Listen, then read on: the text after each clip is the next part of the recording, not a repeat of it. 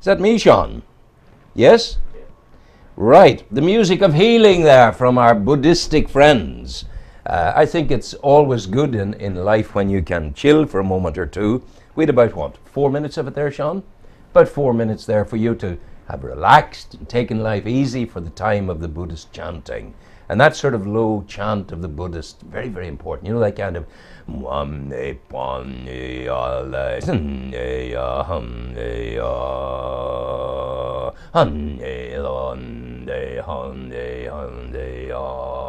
that kind of thing. Very, very good for the soul, I think. Patricia, how are you? Good, thank you, Rowan. This woman is Patricia McNulty, and she's from Victim Support. Yes, that's right. It's lovely to see you. Thank it's you. a year or two since we last met. Yes, at, least, yes. Absolutely. Yeah. And Victim Support was in fledgling days in Newry then, was it not? That's right, when we first met, yeah, Yes. many years ago in Ballybot House. Absolutely. Um, we're now based over on 12 John Mitchel Place um, Yes. in, in Newry. Yeah, and you know, the, the, the, the time in between, it's been a growing time, but it has it been a, a growing time of dependency on victim support. People need you more and more. Have you found that to be the case? Well, certainly there hasn't really been um, a reduction in crime, or I should say, the reduction in the number of clients that we're working with. And our service has grown and developed over the years, which is uh, possibly one of the reasons why it's increased the take up of our service. Um, but we're uh, the only charity that's um, that works with all victim, victims of all crimes. Yeah, I, I, I'm uniquely placed to be a subject of yours because I tell you a story. Well, I'm over it now. Right. But 40 years ago, when I was a young man, I was in my house, middle of the night on my own. My wife and my children were, had, were staying in the mother-in-law's house. And in the middle of the night, I heard the creak of a, I heard the noise of a window in the conservatory close and open, close. And I thought, oh no, it's just the wind, it's nothing more. But within five minutes, I heard the creak on the floorboard outside my bedroom door. Well, I was a diver in those days and had a huge sealed beam torch for under the water, an iron beam torch. And I went to the door and I had the torch there, and the left hand got the handle, and I opened the door, shone the torch, and I illuminated and blinded a tall man wearing a, an anorak and a hood and stuff like that. Uh, and he said, No, no, no, no, no. He said, I said, Don't move. And I held him at arm's length. I said, Down the stairs. If you move, this torch will open you up. And I threatened him. But I didn't engage with him. And that was the wise thing. I engaged to the point of bringing him down the stairs, sitting him on the seat, and ringing the police. Right. Okay. And he protested and then he went quiet. He said, I was only looking a place to stay. Well, in my head was the knowledge that my entire family, if I had not been there, the girls would have been there on their own. Mm-hmm. So the police came, took him away, and then I thought to myself, wonder was he on his own? Then I started looking around, and I found in the kitchen floor the empty leather sheath of my camping knife. And I didn't know where the camping knife had gone. yes. I searched, I found the camping knife dumped under the seat where I had placed him. Right. So he had come up the stairs armed with the camping knife Right. and uh, had chosen not to use it.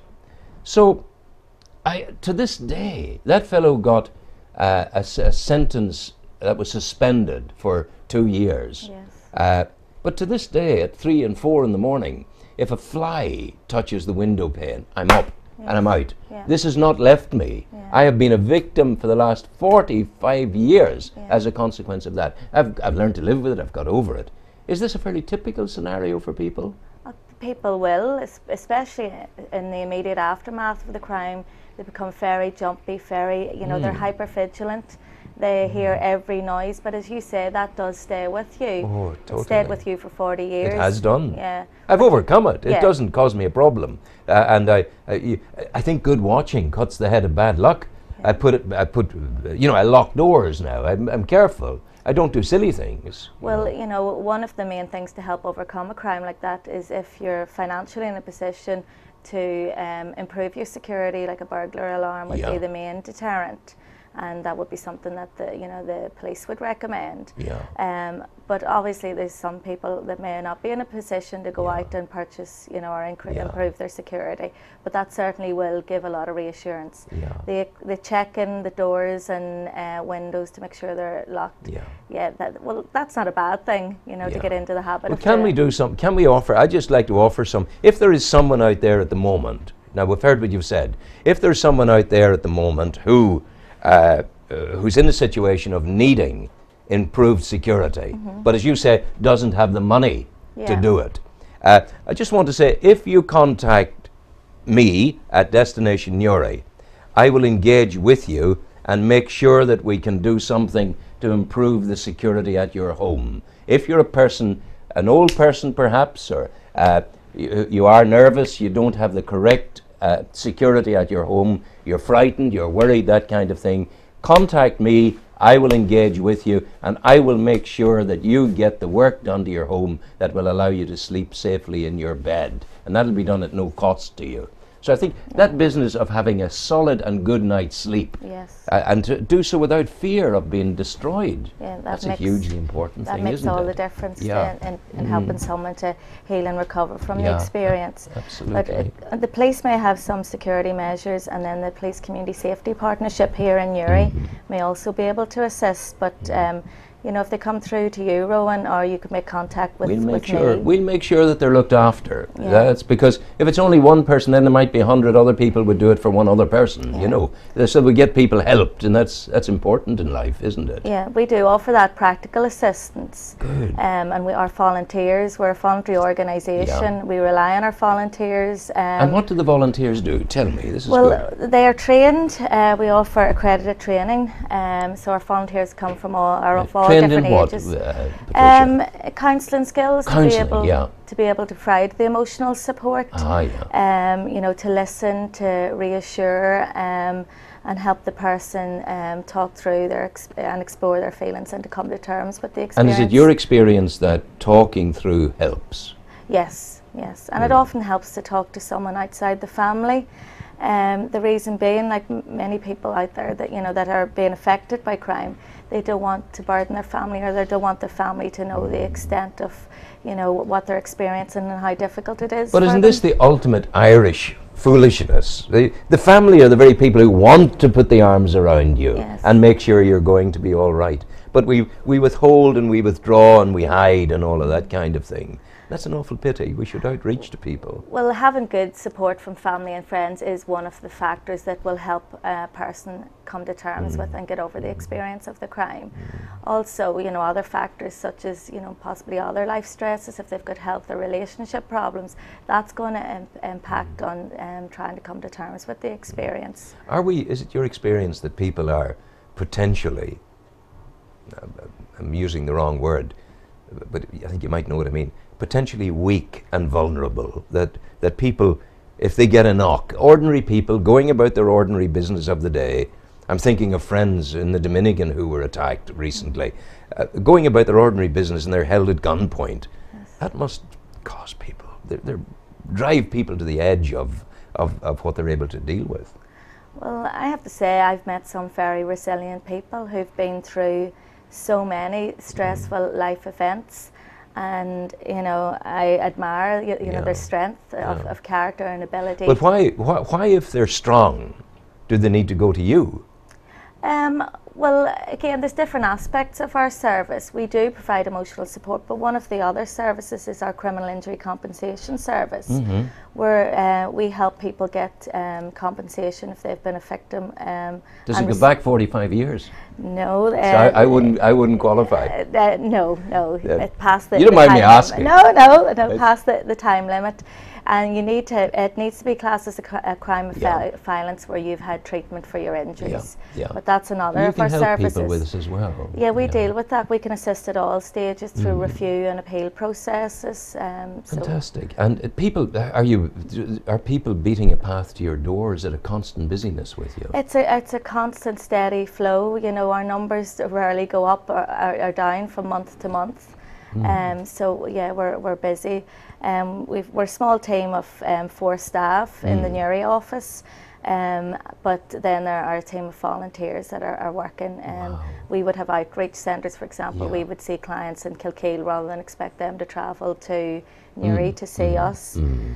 And um, then another aspect of our service is our witness service, What's that? um, supporting victims and witnesses um, before, during, and after court cases. Does that mean if I'm summoned as a witness, that that I, I'm not allowed to say? Well, I am allowed to, unless the court requires me to appear. Yes. But if I'm summoned to go and appear in court, that can be a nerve-wracking bit of business. Yes, and as, you know, especially for the um, the direct victim as well. Obviously, you know, other family members, etc., will be affected um, when someone in their family has become a victim of crime.